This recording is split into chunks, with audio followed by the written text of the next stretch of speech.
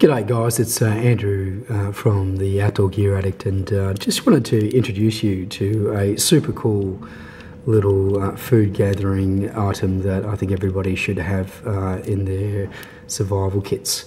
Uh, if you're into fishing, these things are super sweet. if you're into going out and living off the land, these are amazing little functional tools that you, you certainly should have. Um, and let me sort of talk to you about that a little bit more. So um, what this is, this is a mechanical fisher. Um, this sort of kind of came out 20 or 30 years ago and it was pretty popular over in the States, um, but for some reason kind of fell off the radar as, as you know, some good products do. Um, but I tell you what, for a simple invention, this is probably one of the most effective food gathering tools uh, that you can acquire. Um, there's basically a couple of different versions um, of this. There is a stainless steel version, which is this one here, and a non-stainless steel version. So don't get the non-stainless steel version. Um, they're just sort of a, little bit more maintenance heavy and they rust up. So, you know, it's just easier to go with these. The, the prices are effectively the same. And uh, you know, the great thing about these particular tools over here is that first off, you know, they're, they're super lightweight. Um, you know, they weigh all 53 grams uh, which is about 1.9 ounces. And um, you know they can easily kind of fit in your pocket. So you know you can carry two or three of these or even up to six uh, as I do. And if you do that you'll, you'll definitely be eating like a king. Um, but the way they work is, is really really straightforward. Um, effectively this is the actual mechanical fisher that's how it comes.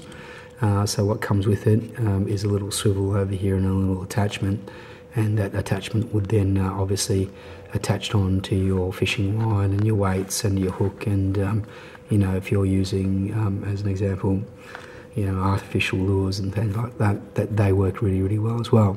So obviously once that is all connected up there over here uh, you got your line ready that line will then obviously go underneath the water as an example.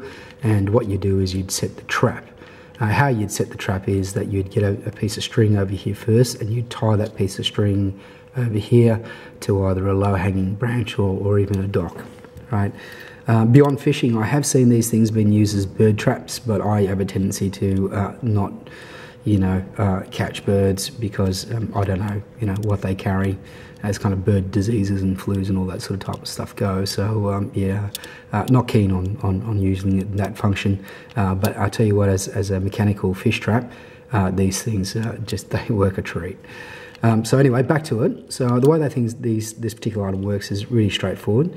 So there you have the mechanical fisher. It's kind of broken into kind of two areas. You've got a back plate over here and a front plate and a pin and uh, then effectively some stainless steel springs over there uh, which is uh, basically supports that mechanical function.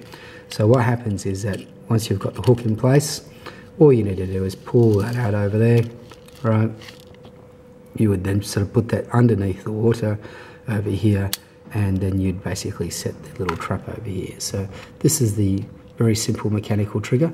And what happens is that when the fish is there and it bites on the bait, it then lets go of that trap and then what happens is that the spring system kicks into place and then pulls that fish up for you. So really, uh, the great thing about this is that you can set these traps, you can leave them overnight or for how many hours, and that'll do all that mechanical fishing for you. And uh, as long as you obviously don't um, basically uh, pull the fish out of the water, so always make sure that you're you're setting the trap so the fish is always below the water line, just there, and in that way it's not going to spoil. Yep. So all you have to do is set that and voila, there you go. You know, one of the best little food gathering slash survival items out there on the market, you know, all for basically between three and five dollars. Um, if you've never seen one of these before, uh, if you've never played with one of these before, uh, and you do go out and you do like uh, camping next to a river, or you just like fishing and, and gathering some of your own foods, this product is absolutely highly recommended. Uh, check it out. Uh, if you like them, you can buy them from our support store. Uh, the link is just down the bottom over there. Uh, if you like the product, uh, you can just hit subscribe and that'd be appreciated. Thanks very much.